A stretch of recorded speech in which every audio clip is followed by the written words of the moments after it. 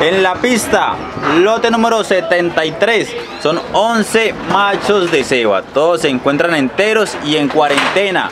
El peso total es de 3.920 kilos.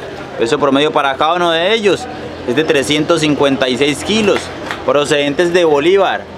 La base es de 8 mil pesos por kilo. Fueron pesados a las 11 y 48 de la mañana. Lote número 73.